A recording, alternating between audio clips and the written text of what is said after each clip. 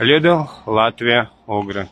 Сегодня специально сравнивал цены, и цены, в принципе, сейчас стали или такие же, как в Максиме, или чуток выше. Водочка, например, подорожала на рубль 44.